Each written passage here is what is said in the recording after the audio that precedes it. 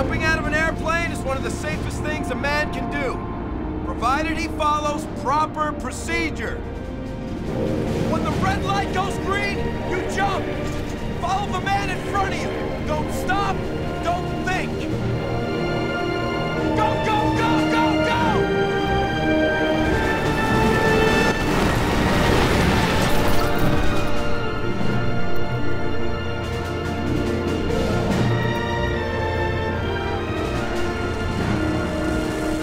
Deploy your chute automatically. Your chute is designed to drop you straight down.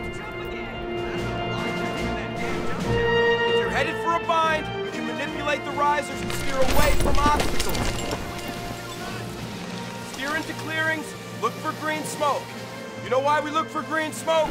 Because it's proper procedure.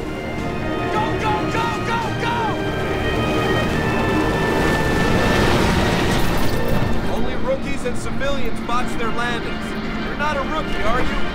Clearing your chute will allow you to survey the DZ. It will also make your landing less painful. If you're heading toward danger, adjust your incoming trajectory and attempt to grease the landing. You'll be battle ready much faster.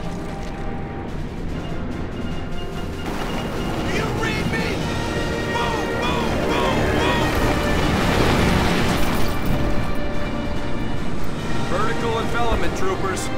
Death from above.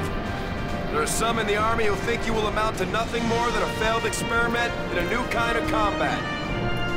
They don't know you like I do. I'm convinced that the end of Nazi tyranny, when it finally comes, will be delivered by the airborne.